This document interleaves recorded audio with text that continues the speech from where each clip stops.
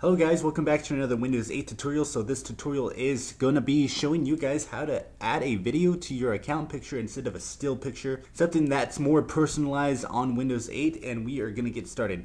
I do believe this has happened just like on Windows 7. So if you guys follow along, you'll get a 5 second animated video for your account picture. So if you guys are in the start screen, all you have to do is just stay there and just press on your username at the top right and then press the change account picture tab. Once this comes up, all you will do is you'll notice that you will have a camera option. It should be either your external camera or your webcam, uh, the external one that is. Also, if you have already made pictures or videos, you can actually go through with a couple of them and just go, you know, and choose the ones that you want. I actually made one real quick like right here.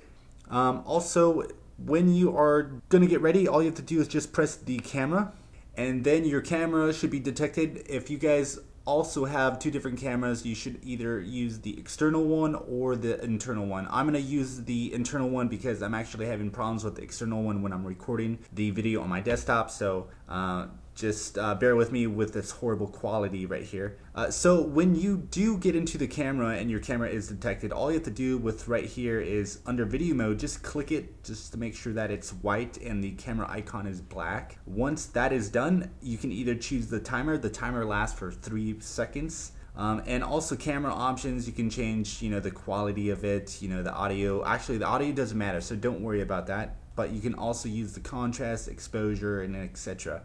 Now, like I said, you can either change the camera or not. It's really up to you.